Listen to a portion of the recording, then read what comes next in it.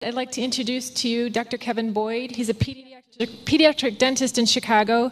He is an att- attending instructor in the pediatric, pediatric dentistry residency program at Lurie's Children's Hospital, where he also served as a dental consultant. His clinical focus is the prevention of oral and systemic diseases through the promotion of healthy eating, physical activity, sleeping, and breathing. His primary, primary research interests are infant and early childhood feeding practices and how they impact the palatal-facial development, nasal respiratory competence, and neurocognitive neurobehavioral behavioral development. He is currently a visiting consulting scholar at the University of Pennsylvania's Museum of Archaeology and Anthropology, doing postdoctoral research in the areas of anthropology and orthodontics. Please enjoy our first recorded presentation by Dr. Kevin Boyd. Good morning, uh, afternoon, or evening. Uh, Kevin Boyd here from Chicago. Sorry I can't be with you all in Seattle, but uh, I really enjoy talking with this group. I've spoken a couple of times, Chicago and Boston, and uh, Seattle, one of my favorite cities. I can't be there, but uh, appreciate the invitation. So I'm going to share my screen and get right down to this. I've got an hour, uh, and hopefully this will be a productive hour for all of you, interesting and useful material. Um, some of it is uh, I would say reinforcing of previous talks. Maybe some of the slides will be similar. So sorry if uh, that's repetitious to some of you who have heard me speak before, but um, usually there's other people that I really like to give them the opportunity to um, have the tools to open up uh, some, some of the uh, hypotheses that I'm going to be uh, introducing and, and, giving support for. Um, John Lennon uh, was heard saying this to Paul McCartney when he was 15 years old and drunk on a playground before they were Beatles. He's, uh, I thought it was appropriate for, for the topic uh, of airway. So uh, I'm going to move into health span. What is health span and what is lifespan? Uh, so when I'm 80 years old, when I'm 90, hopefully when, when I'm 100 years old, be able to interact with things I always worry about is, is being dependent on somebody. Health. I would continue to be engaged and productive. I hope to become an old, young, active person. Over the course of human history, most people died before the age of 10, with an exceptional few living into their 60s and 70s. Around 150 years ago, a remarkable shift occurred, and the average length of life began to increase. Every decade, about two years were added to average life expectancy. This trend continued in Western Europe and North America until, by the close of the 20th century, life expectancy had doubled for most people in the developed world. And those additional 30 years of life that we added in the 20th century, we call the first longevity revolution. It was primarily improvements in public health like clean water, uh, sanitation, indoor living and working environments, controlled uh, air temperature. These are all the things that created very harsh conditions for people in the early part of the 20th century. We wanted to live longer. We didn't want our children to die. We succeeded in doing this. Uh, and we got exactly what we, we wished for. Today, the numbers of people living to old age and to super old age are rising around the globe. To live a long life is a monumental achievement, and longer lifespans are precious gifts for everyone. But there is another side to this story. 50% of the children born now will live naturally to over 100 years. But if we don't increase health span, what it means is that individuals are going to still succumb to cancer, heart disease, diabetes, and neurodegenerative disease at some point between their 40s and their 70s. Developed nations are spending a growing share of their total wealth trying to hold back a fast approaching silver tsunami of chronic diseases and disabilities of aging. Baby boomers who were born uh, post World War II are now aging into what we sometimes refer to as retirement age. Uh, post 65, and we're seeing this in some of our social programs. And the upheaval that that's going to cause to society is tremendous. This is referred to as the silver tsunami. So, what really, over the course of the next hour, I would like to uh, develop the hypothesis that up you know, the, the title of the slide, aging uh, essentially begins in childhood. Uh, if, if people are absolutely going to live longer, kids alive today will most likely live to 100 plus. Uh, but will they live well uh, into their old age? What the narrator said was, you know, by 40, 50, 60, most kid, most, most people, uh, adults, middle age, uh, you know, approaching senior citizenship, um, they have chronic disease uh, that usually is brought about by unhealthy lifestyle. Now, un, you know, lifestyle components aren't just diet, nutrition, and physical activity, exercise, but also sleep and breathing. And, and breathing habitually through the nose, if that starts very early in childhood, that a child is conferred that ability uh, to live up to their genomic potential for their jaws and faces and airways to grow normally, that that is what is going to be uh, predispose them to not only longer uh, lifespans, uh, life expectancy at birth, but also prolonged health into old age, maybe even into uh, their hundreds. It'd be nice to be healthy up until your dying day. Uh, that, that, and that is not that unrealistic. My mom was a good example, 90 years old, and she was really hardly ever sick a day in her life. So, anyway, um, let's move on, and hopefully, I can convince some of you of the reality of this.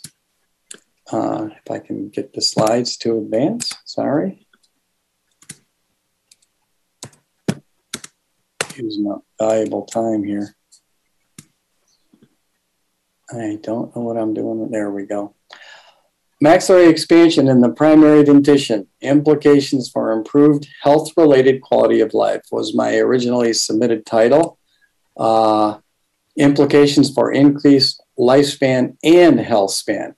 And again, health span is the amount of your lifespan that you are actually healthy and have a high quality of life to go along with your higher quantity of life. Um, I'm going to discuss how the jaws, face, and the teeth are intimately connected to the airway and you can't separate them. We say the back of the face is the airway, the front of the airway is the face.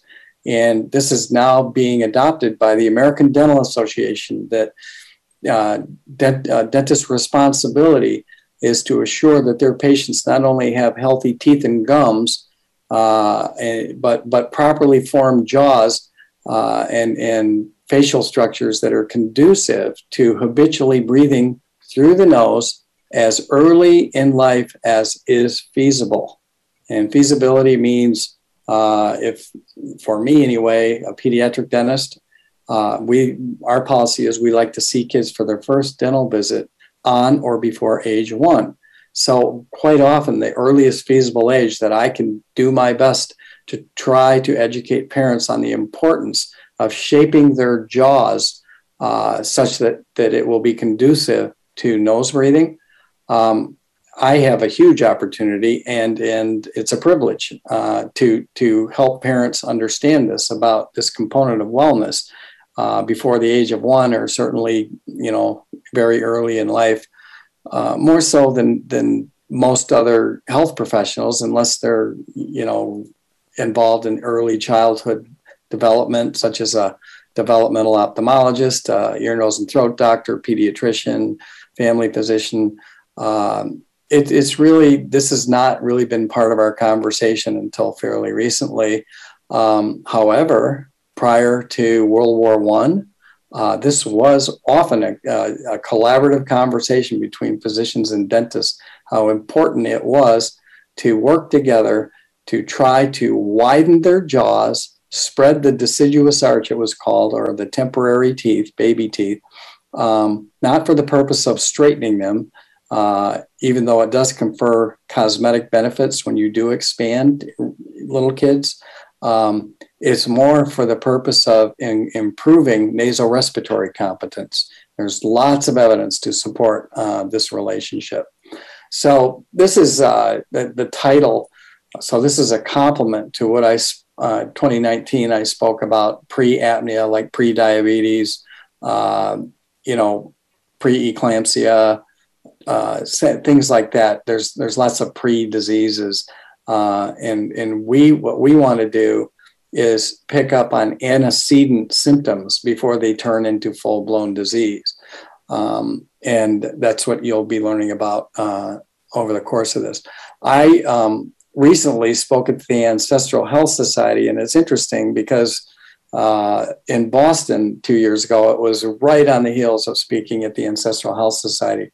And many people contacted me afterwards wanting to know more about the Ancestral Health Society. And I encourage everybody here listening to this if, if this material is, is useful to you, you should consider um, attending one of these meetings. Uh, they're incredible. It's made up of all kinds of healthcare professionals, such as yourself, that are in, interested in functional medicine um, and in improving wellness uh, as early in life as possible. Um, I just spoke with um, James Nestor, who's the author of this book, and, and we actually were consultants uh, for him on this book. And um, he was uh, talking about these are the skulls that that I told you about at the previous couple couple of meetings that I've been analyzing with Dr. Mariana Evans and Dr. Janet Monge. She's the curator of the Penn Museum. These are all pre-industrial skulls, anywhere from uh, you know stillborn fetuses to 50-year-old people, you know, that lived th- hundreds and even thousands of years ago. One thing that's ubiquitous to to all of them is they all had well-formed jaws. Even even you know kids who died in childhood, even even the fetuses, their jaws were well formed. Um, infectious disease and predation. There's all kinds of reasons why people didn't survive past childhood. And like Martha Stewart was narrating in the opening video, most people up until about 150 years ago uh, didn't live till past age 10. Well, that you know, a lot of people, not a lot, but a significant amount of people did actually live into middle age. And, and even uh, 60s and 70 years old, you can find skulls of 60, 70 year old people uh, from a thousand years ago. Uh, but it's balanced by uh, the high incidence of uh, infant mortality. So that's why that that statistic is ac- actually quite accurate. That the average age was about 10 years old. So that's all changed. But um, how well are we going to, you know, how long will we stay healthy? So, anyway, I, I encourage anyone to read this book. Um, he and I had lunch uh, several times during the course of the three day meeting, and we saw this marquee at a movie theater don't breathe and, and we sort of photoshop that in there through your mouth so that's really what this whole lecture is going to be about uh, the importance of breathing through your nose all air is not created equal. Um, you know, air is air. What do you mean? What difference does it make if you breathe through your mouth? I've had physicians say that to me. Oxygen's oxygen. The oxygen that you breathe in eh, from the environment is mixed with other gases, uh, sometimes pollutants. Air quality index is a new uh, uh, algorithm that, that we pay attention to. Um, but there's there's the air is cold relative to 98.6 unless you're in a rainforest um, it's dry, uh, again, unless you're in a year, real humid climate. And there's all kinds of airborne pathogens uh, in the air. So uh, what happens is when you breathe through your nose, these turbinates, turbine, it, it really rattles the air and it acts uh, like a catalyst to form a compound called one nitrogen and one oxygen, nitric oxide, which is a powerful antioxidant. And amongst the pathogens that are airborne that it kills is coronaviruses. Now, if it's effective against the Delta variant, we're not sure of that. But if you're an anti masker or you know somebody who is that you're concerned about, uh, then tell them please do all you can for yourselves and your children to breathe through the nose. At least they have a chance uh, to actually extinguish the virus in the nasal cavity not much work has been done on this uh, on this recent pandemic, but there is lots of research to suggest that several species of coronavirus do succumb to the toxic effect of nitric oxide through nose breathed air. Um, this is a drawing I had done for a couple of essays I wrote in an orthodontic journal. Uh, this one is actually from Darwinian Dentistry Part Two. Anybody Um, you can download, they're free online, or if you need them, we can send them to you. Um, this is what a typical palate looks like in kids that come to me. And most of the orthodontists don't want to see kids at this age, and, and people who are influenced by the orthodontic profession who they do a lot of good things. I'm, I'm not here to trash orthodontists. I'm, I'm here to trash the curriculum. Um, they're not teaching orthodontists how to treat little children because, and, and I'm a pediatric dentist who only does orthodontics now.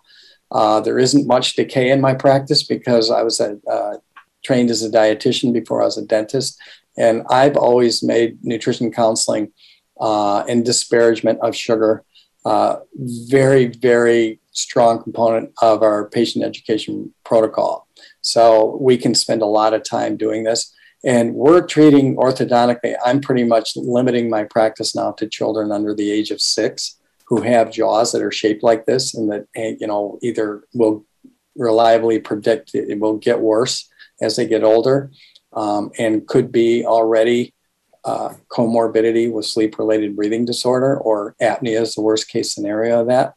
So, this is something that um, those of you watching, if you have your own kids, grandkids, great grandkids, nieces, or nephews, and somebody's telling you to wait till they're, you know, reliably like, oh, save up your money for braces, but we don't want to see them till they're 11 or 12 or 10 you know what, a seven year old, and that's really when the American Association of Orthodontists recommends a child by seven years old, they get their first orthodontic evaluation, but usually don't get treatment until about 11 or 12. Uh, that is a seven year old's a geriatric patient in my practice. Uh, it's, it's not too late, but you know, the, the ideal age to treat them is at 30, 30 months of age or, or three years, two, two and a half to three years old when they have all 20 of their baby teeth. Okay. This is, um, you know, this, this child here is already getting permanent teeth in figure seven. Those two front teeth are there. Uh, but, you know, this is, so this is what happens here is this nitrogen oxide will kill all these pathogens and the air is humidified and it is warmed and it's much easier to get into the blood vessels again because of the nitric oxide it also facilitates diffusion across the, uh, the lungs, the alveoli of the lungs into the bloodstream, uh, to the hepatic portal system, uh, to the heart, to the brain. Uh, and when you mouth breathe, you do not get that efficiency uh, of getting oxygen to where it's needed. Uh, so anyway, this is what I started my last lecture to this group in 2019 in Boston. Is this has been known by anthropologists for decades that malocclusion, that is just poorly aligned teeth and jaws. And we used to just say, oh, well, you know, we can straighten those teeth when they're older. But because of the intimate connection to the respiratory apparatus, is this is not something that should wait. It, it, there, there are cases where it, it, it is okay to delay treatment, but for the most part, if a child's jaw is too narrow and if it's too far back, like, you know, chinlessness, like Mitch McConnell, not, nothing political, but you know, and he had polio as a child, but his chin is really deficient. Uh, Queen Victoria, if you ever see a picture of her, she has no chin. Um, Jay Leno, he has no maxilla. His, his upper jaw is too far back. And there's a lot of people who have both jaws that are too far back. That means there's no room for their tongue. And where will the tongue go if it can't rest forward and upward on the roof of the mouth? It will go into the airway especially when they're sleeping. This is not a good thing for anybody, but especially for growing children. So here again, I'm not meaning to disparage the you know orthodontist per se. It's the curriculum, and and it doesn't teach. Like I I had to learn how to you know manage anxiety in children because I'm a pediatric dentist and mainly for doing fillings and giving injections and things like that. And I had to take a lot of child development courses, and we had to demonstrate extreme competence before we could become board certified, get our certificates in pediatric dentistry in behavior management, behavior guidance. And not, you know, sometimes we have to put these kids to sleep, but for the most part, we did our, we want to manage them while they're awake. Well, orthodontists don't get that training because why would we need that? You know, we're not trained in that because we're not supposed to do treatment until they're older. That is the implication, even though it might not be emphatically stated. So this is something that's very interesting about the ADA. Talk about this because this is such a hot topic. You just got back from the ADA Roundtable uh, uh, Airway Summit, Pediatric Air Summit. There was an ENT there, two pediatric dentists, three orthodontists, two myofunctional therapists, one pediatric psychologist, five GPs, and one prosthodontist. That was you, assembling the best experts in the world on airway. Now, this, first of all, let's talk about why this subject was important and what was the purpose of this meeting. Yeah, it was a real honor to get an opportunity to be there. Um, Steve Carstensen, who practices up in Seattle or outside, right outside of Seattle, and also runs the sleep course at Spear Education, put it all together. He did an incredible job, which was actually interesting. Um, Steve really uh, was an air, was a sleep guy. He was uh, adult. I mean, he was kind of the fat old man that would come to his practice and he'd make an advancement appliance, and that was. And then he got this real interest in pediatric um, uh, screening and assisting them and becoming and getting healthier. And it happened right at the same time the American Dental Association was taking an interest in it as well. So at last year's ADA meeting, they actually came out with some statements that were very supportive of dentists being involved in the world of, it's still somewhat limited their view. The world of sleep was pretty much their focus for adults. So their statement was basically that we need to start looking at apnea in adults. We need to do some sort of questionnaires in the practice. Um, when we make appliances, that they said we ought to be titrating them and using screening tools like a pulse oximeter to help us do that. And so that was that was fairly supportive from the adult standpoint. The the thing that they really came out in in very strong support of was dentistry's role in the prevention of this problem and being able to get to the pediatric patient earlier. So they actually, I've got the policy statement here. They came out with a policy statement that said in children, screening through history and clinical examination may identify signs and symptoms of deficient growth and development or other risk factors that may lead to airway issues.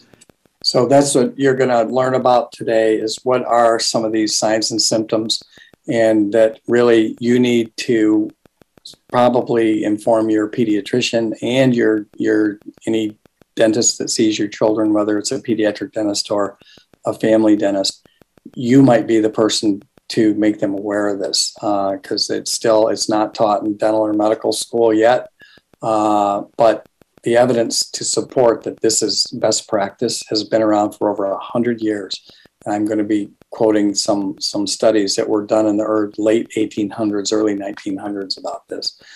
Another reason, again, that I alluded to about uh, getting children to breathe through their nose, um, if they're not going to be mandatory wearing masks at school, it's just really in your child's best interest or any child that you know or that you might um, have some sway over policy uh, they they they need to have the best ability to breathe through their nose. Um, the the number I'm I'm on staff at Lurie Children's Hospital. It's one of the best children's hospitals in the country, um, and we're just getting lots of new patients that are little kids that are getting COVID. So um, stay tuned. Uh, hopefully it'll get better. I just spoke to uh, a children's hospital dental group in Miami. And um, so I was finding some uh, evidence to, to share with them, and, and, they know it all too well. But to, to just, uh, uh, so this was in Texas here as well. A lot of these states that aren't um, mandating masks, and it's just, uh, it's got to change. Something's got to change. So this is uh, a brief video. Country, we're seeing more and more children getting infected. A record number of kids are currently being treated for COVID-19 in U.S. hospitals. So you've all this is this was fairly new stuff when I gave this talk. You've all heard about this, so and hopefully it's just not going to get much worse.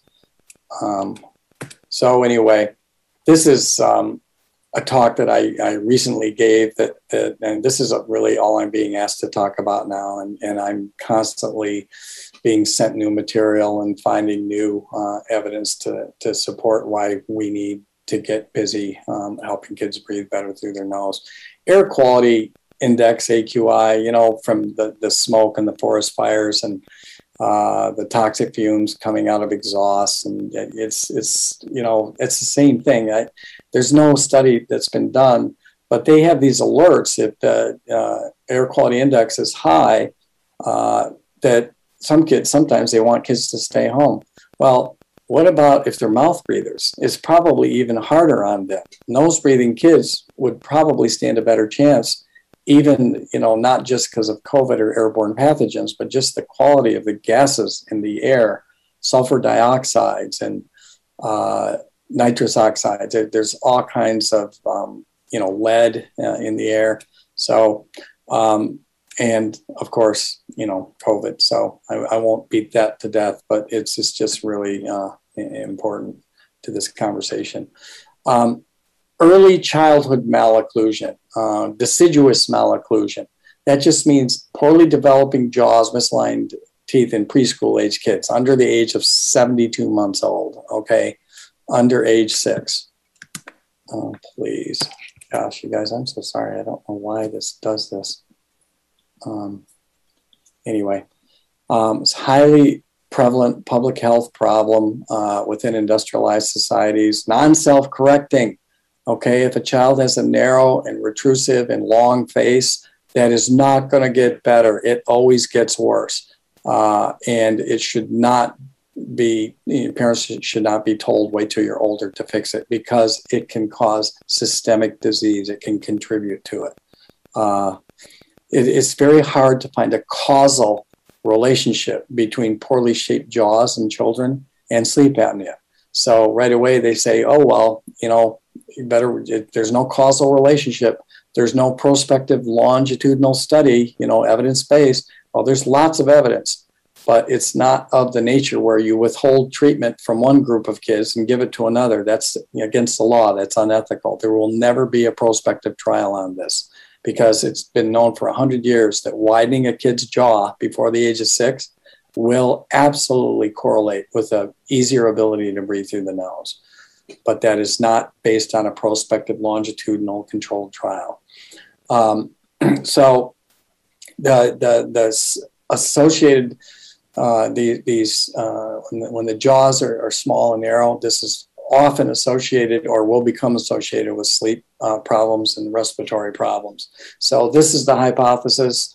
Orthodontic, meaning teeth, you know, aligning the teeth. dental facial orthopedic, that's the jaw and facial bones and the bones of the respiratory complex that are connected.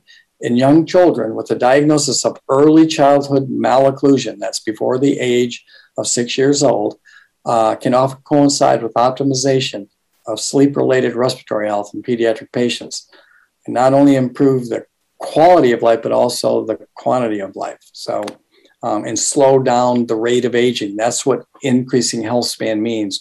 We need to slow down the rate of aging in people. Uh, and you know, I my one of my research partners, uh, Milt Gavelis, he does tongue tie releases on kids.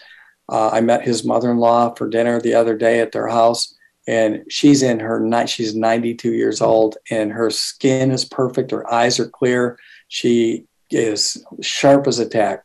That is a woman who has uh, a huge longevity uh, of, of her health span.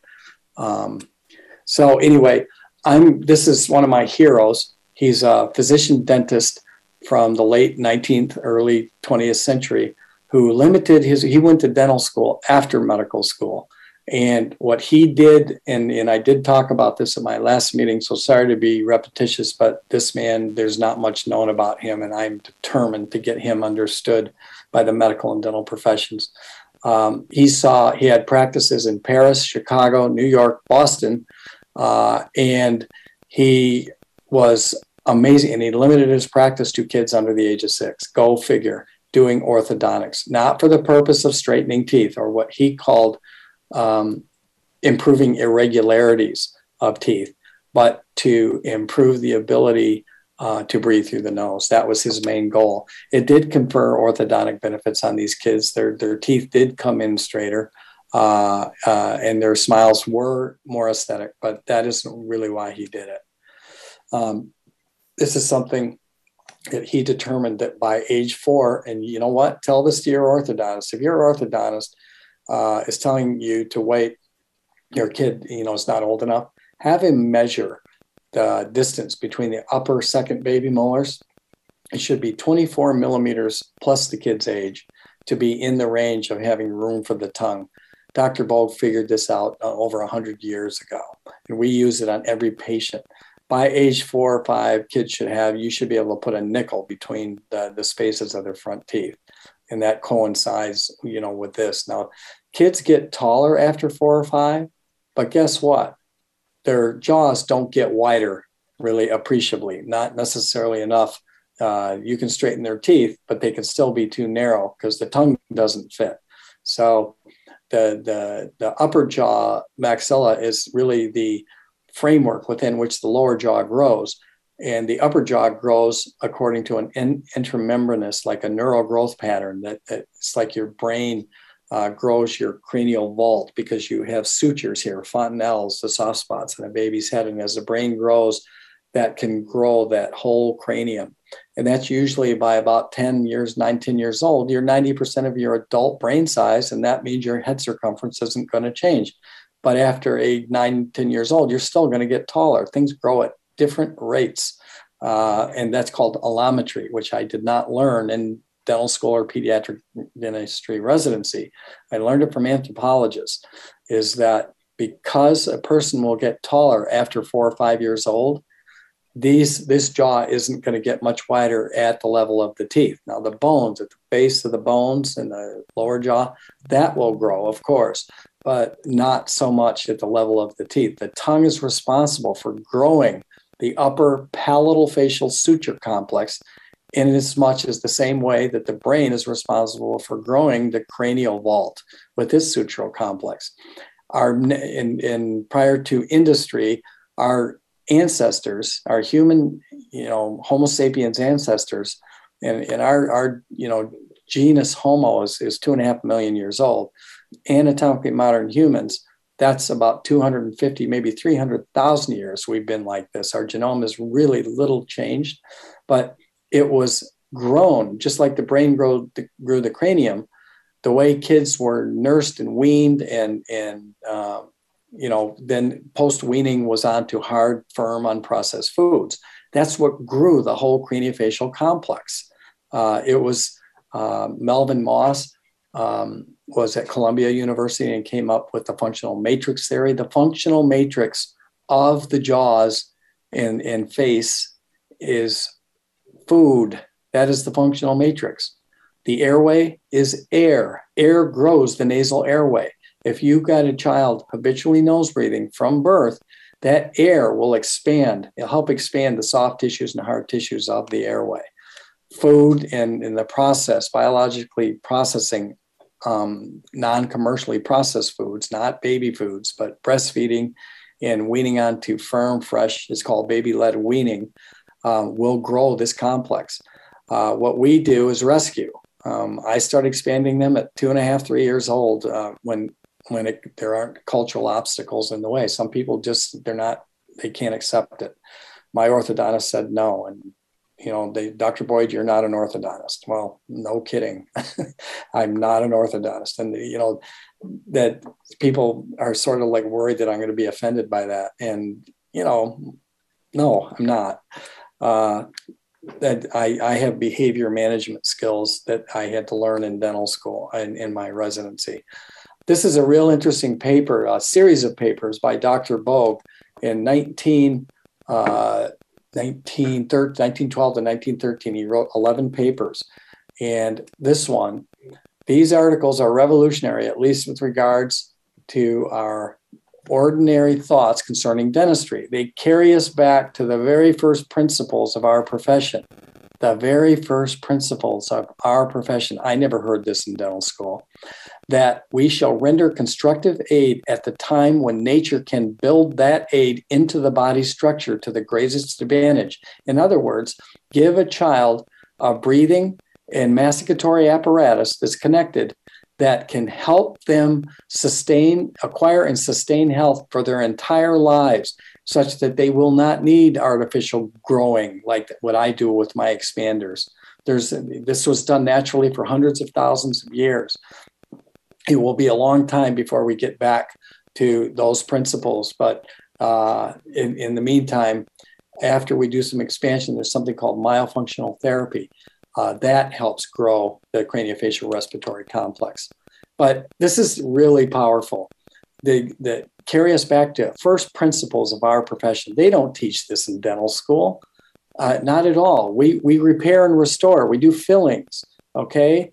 And we take people with apnea and we put them in appliances to make their jaws come forward as adults.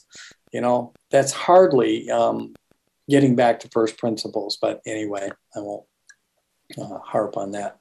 Um, the correction of irregularities of the temporary teeth, that's the baby teeth, for very young children is the most important work of modern dentistry. I hope to show that the best of our constructive dentistry must be done by the time the child is six years old. That such work before the age of six facilitates the development of the child's whole body as it cannot do at any other age that it enables nature to do for the child in the most advantageous manner, much, much that we have sought to do at later age and with great trouble. That such dentistry can be done easily, quickly, and practically without pain, that the cooperation of the child and its parents may be enlisted, and that the results are permanent in a degree which is not always true of the work that's done at a later age. I have, and I'm going to show some of my results, but I now have over a decade of results, hundreds of children before the age of six that we have really developed very well uh, in, in this regard. Um, and this is the last thing I'll read to you. I don't like people to read their slides, but I felt compelled to do this. Some of my friends in the profession have taken up this work for children, and the results are little short of marvelous. They have reformed cranky dispositions. ADD, anybody inattention. Enable children to voluntarily breathe through the nose. Hey, who knew? You know, this is like a over. This is over a hundred years ago. They were saying this. Uh, aided very materially in physical development, promised to facilitate the eruption of practically perfect sets of permanent teeth. Well, you know what? I don't promise that, but I do give parents uh, optimism that that their permanent teeth will come in better, but they're most likely going to benefit from Invisalign when they're teenagers. And we don't do much teenage braces anymore. We usually put them in Invisalign, and it's much better tolerated by teenagers. If any of you have teenage kids in braces or you yourself did, you know how cumbersome they can be. Um, look at this 100 years old. These were made, they didn't have acrylic. This is vulcanized rubber. And this is what we call a Hyrax appliance now you know? And it's like these have been around since the 1800s these expanders. And this these look almost identical to the ones that we use now. So look at this 1860 expanding the jaws. That's a typical one.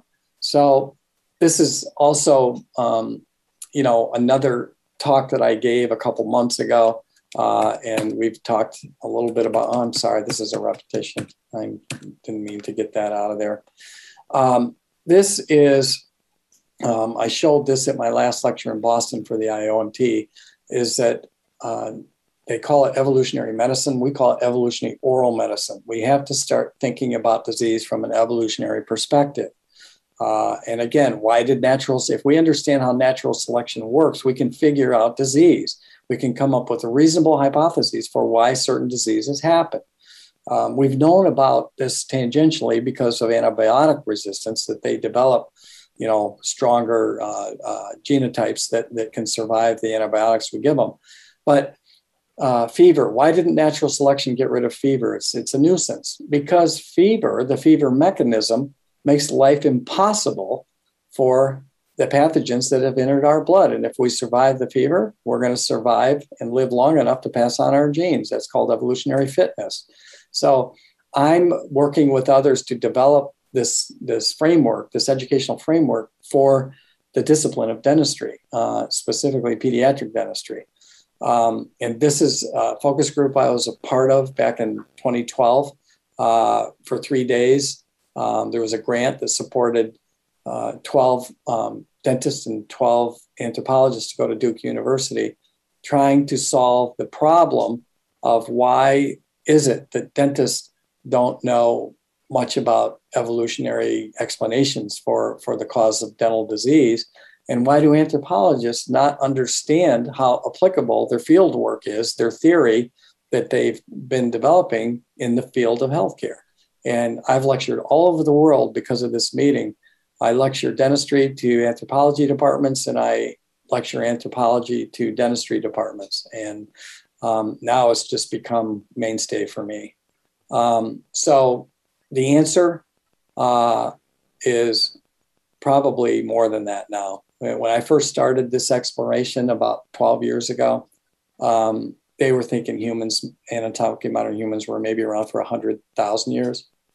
And it's maybe three times that. So ontogeny is just when does a, trait or, or, a disease trait, um, ontogeny is from conception to death.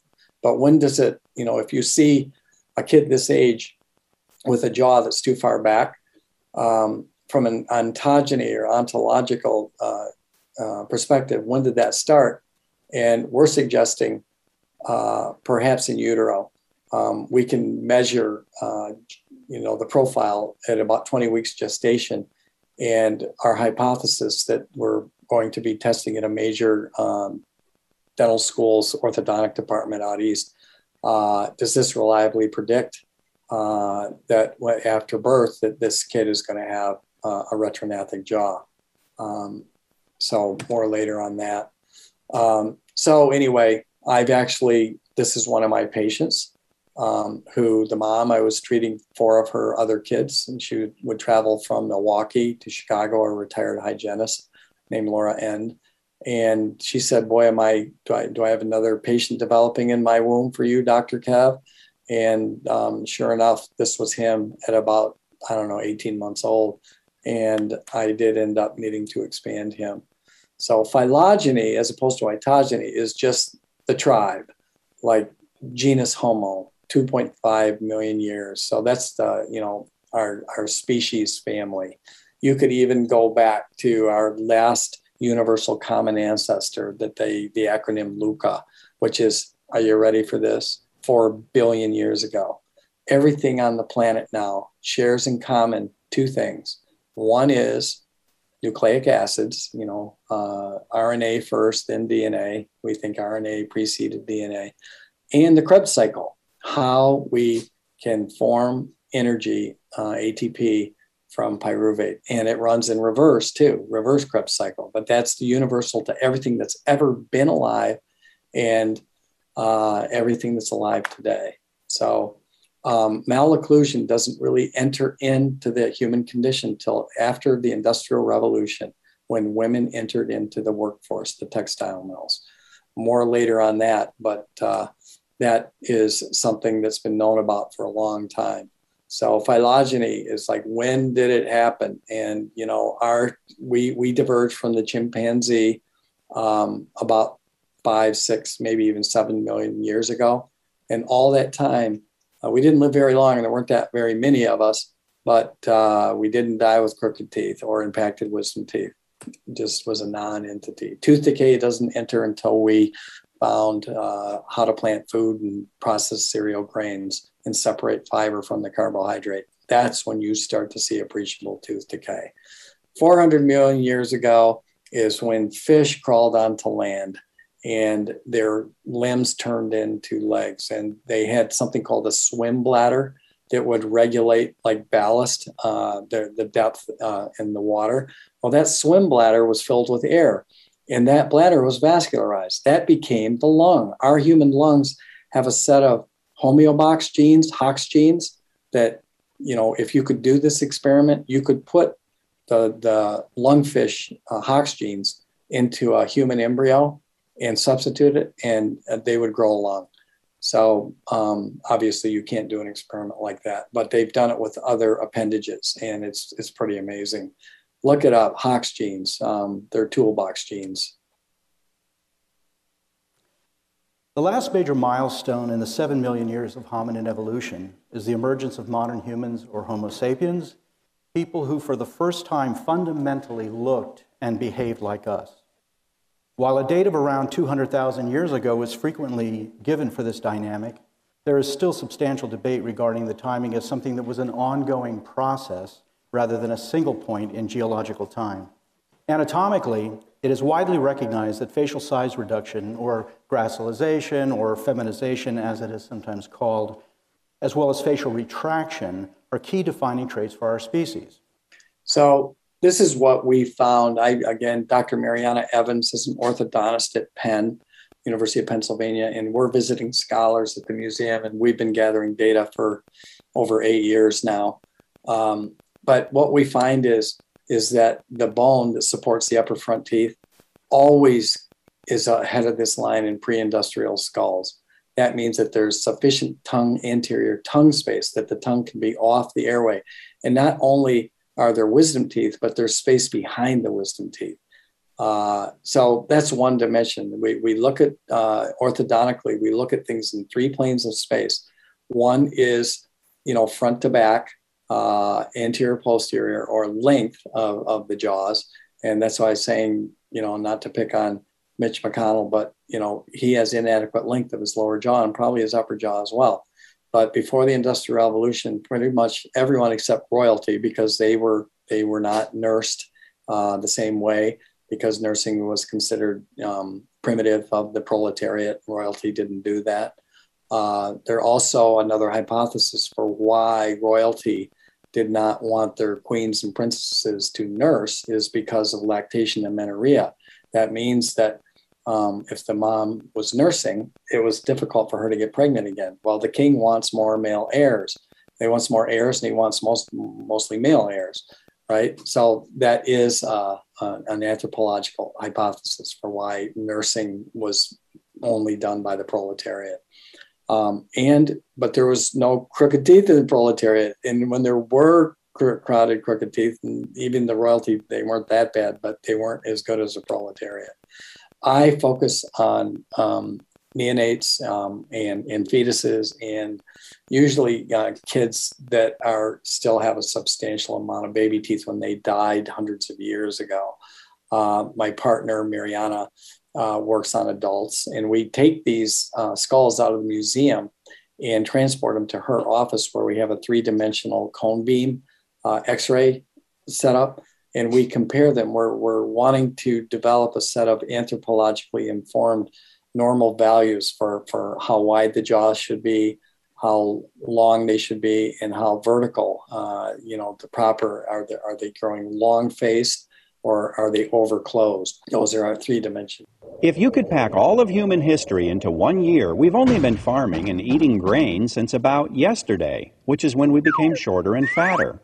We only started consuming processed vegetable oils about 10 minutes ago, which is when heart disease became our number one killer. We not only became shorter and fatter, but our jaws got narrower, they got more retrusive, and they got longer, uh, long, longer faces. But uh, right away, I mean, after the discovery of agriculture, um, you know, 12, 15,000 years ago, well, the jaws started to get narrow, but not that quickly and the teeth actually got smaller too. So there, there really wasn't a substantial amount of crowding until in the Industrial Revolution, which is you know, ten thousand years later. But but um, they they things went in lockstep with each other. Is uh, but then when the industry came along, it just the jaws got so narrow, but the teeth were still the same size. Um, this is what um, Rick Roblee is an orthodontist in Arkansas that I do some work with, and Jerry Rose was head of the anthropology department, and I was appointed as an adjunct professor there to mentor uh, research of dental anthropology PhD students. What Dr. Rose uh, found in his research is that jaws got more retrusive with uh, industry, they got longer, more vertical, and they got narrower. Uh, and this is very typical of what we see um, in my patients. Um, so parents are really important. Hello, my name is Janet Castillo. This is Julian. Julian is 10 years old. He is diagnosed um, with, with Down syndrome along with some medical condition, other medical conditions. Um, we found Dr. Boyd through Dr. Lovmani. We came here three years ago asking for help to improve his breathing after a few surgeries with no success to help um, with severe sleep apnea. Dr. Boyd and staff have been a blessing to our family. Not just his breathing got better, but also his hearing got better. His hearing improved tremendously. Julian is now sleeping better, sleeping all night, and he's also hearing better. His speech has improved tremendously. So he was diagnosed with irreversible congenital hearing loss. And so it was obviously a misdiagnosis because, um, and he was nonverbal because he couldn't hear, and hearing aids weren't helping him. But when we expanded him, um, all the, the, the audiologists were, and I have the reports, we're going to publish it as a case study. And he started talking. So, the, you know, these are things, that's an extreme case, but it's really almost every kid that we treat. There's things start, start to stop, they stop getting worse. And, and then it often will just completely mitigate the problems associated with sleep and breathing. Um, so anyway, these are fetuses that died, you know, 500 years ago. And look how forward the jaws are. I mean, if you look on an ultrasound um, of your own children, you know, the jaws usually aren't this forward. So we think something might be going on, you know, with the mother's eating, breathing. Uh, we don't know what it is that is stunting the growth of the jaws. Uh, and it just gets worse after birth because of you know i mean we we like to encourage breastfeeding. Uh, i tend to support it but you know when a man starts talking about breastfeeding women just roll their eyes you know what does he know? So i i usually let my female assistants uh, do that. Um, anyway these are what uh, palates are flat they were long uh, they were wide uh, so and it's just ubiquitous until about maybe 250 years ago is when it starts to creep in. One thing we can say is that we know that this 35 year old guy who died 5,000 years ago, he had to have looked like that when he was about six years old. How do I know that? Because if he didn't have a jaw like that, he never would have survived childhood. That means he wasn't nursed and weaned according to an ancestral pattern. And he never could have developed jaws like this if he didn't have a similar analogous uh, shape to his arches before. Now, how about this guy? Can you tell me anything about what he looked like when he was almost six years old? No, you can't. This is what he looked like two years before I did orthodontics on him. So you can't predict really anything about what a person's jaw looks like looked like when they were younger um, because everyone not everyone needed uh, to have perfect jaws to survive childhood. We can survive childhood with all kinds of diseases now. Uh, and and of course that that's a good thing but um, you know there there's are other kinds of problems that are brought on because um, what would have you know eliminated us before. It doesn't but we grow we, we live longer but you know we're getting diseases at earlier ages. So this is um and i'm not going to go into that but that you know that that when when breastfeeding happens the the the baby's tongue the infant's tongue will push the nipple against those sutures and grows the jaws and it makes them wide. It, kids who are intubated preemies their their palates get these grooves in them and they they can't develop normally. Um, so we used to do these studies at iowa when i was a resident resident. Well this is what the palates um, used to look like on every child that was ever born successfully up until about you know 250 years ago. And this is what we use uh, we shoot for when we start expanding children by two and a half or three years old. So um, an analogy can be made. If we do screening for children for, for visual acuity issues uh, or speech or hearing, why in the world wouldn't we do it for sleep and breathing? Uh, and that's a good analogy. And I tell parents when I do consultations if you are getting any grief from any relatives you're treating too early, uh, you can say, well, what about glasses? I mean, would you tell a parent to wait till a kid's driving a car to correct his nearsightedness? That could cause brain damage if you let vision get as bad as it's going to get. And that's kind of what's happening. There's the British uh, Journal is saying we need to develop uh, an index, something that can predict reliably a risk for sleep apnea based upon the shape of the jaw. This was seven years ago. Uh, really, not much has been done with it. But I'm, you know, I'm finding other things Early childhood malocclusion, again, I'm trying to define this for my colleagues so it's easier to explain it to parents. Um, that's what we do for cavities, early childhood cavities. That's before the age of six, a cavity. Um, and it helps insurance companies. Um, it makes them responsible for paying for things because it's a simpler diagnosis. When we talk about decay that way, we got to talk about malocclusion that way. Uh, and and as of now, um, orthodontics is considered cosmetic. It's not. It, it can there there are cosmetic advantages to having your teeth aligned, but this is a, absolutely something that that I am determined to help change. This is what affects health span. Okay, so I mean, if you're getting, you know, chronic COPD at 45, um, you're probably not going to live, you know, to the average lifespan. Uh, or even if you did, it's going to be a crappy life. Um, and then, you know, if you're getting colorectal cancer or respiratory infections, and the you know the life expectancy is 78. Well, that's still a fairly long health span. It's too bad you got it, but we'd like to extend both of those uh, out even more. So this is really what we're trying to do, is by doing things in early childhood, we can. Uh, and for me, I'm focused on helping kids eat healthy, uh, have, a healthy weight, and also have uh, healthy sleep and airway hygiene. Um, this just came out, the Journal of the American Heart Association, or Cardiology, JAMA Cardiology.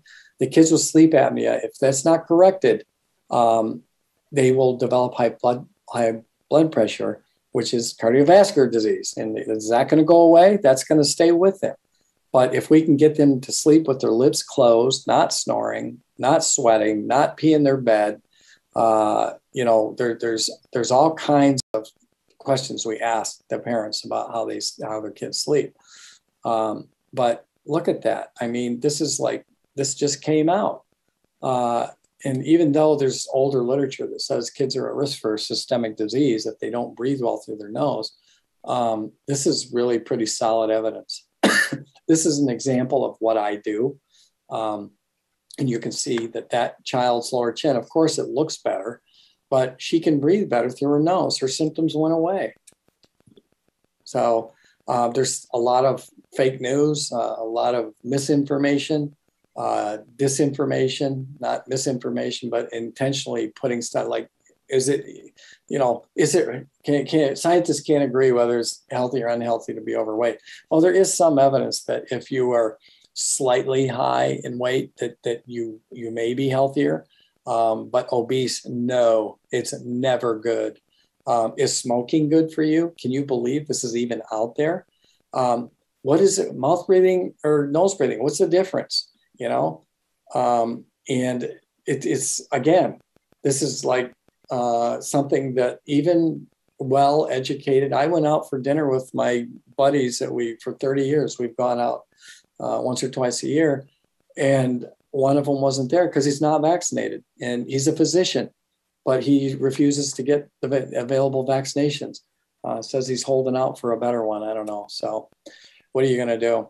Um, breathing starts in utero. Is that there's studies that's been done that the air pressure inside the womb is actually as thin as the air one mile above Mount Everest. Kids have adapted uh, throughout mammalian history to survive in a low O2 environment. But if a mom is snoring, that there's no margin of error there. That kid is already in a hypoxic environment and it's not hurting them. But if a mom, that's why the flight attendant says, put the mask on yourself first.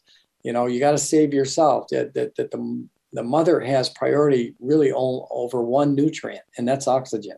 Everything else, the, the fetus, the developing fetus has priority because the mom is not going to die of vitamin D deficiency, uh, but the baby needs it.